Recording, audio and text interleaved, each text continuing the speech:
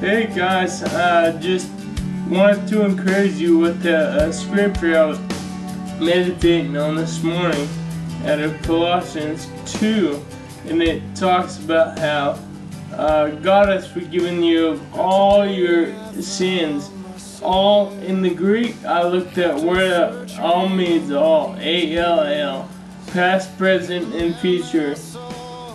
And to the people that think they're only forgiven of their past sins um, are on a constant roller coaster of emotions because they're always thinking they're they might not be right with God, but God has already forgiven you of all your sins and all your iniquities.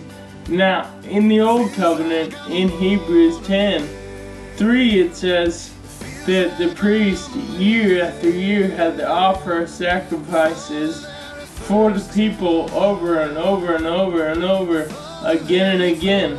But if you go on to Hebrews 10 12, it says Jesus offered a sacrifice for sins once and for all. So you can rest in the finished work of Christ. So when God looks at you, He sees complete and total righteousness, and now you can be as consistent as can be. Bless you. Have a great day.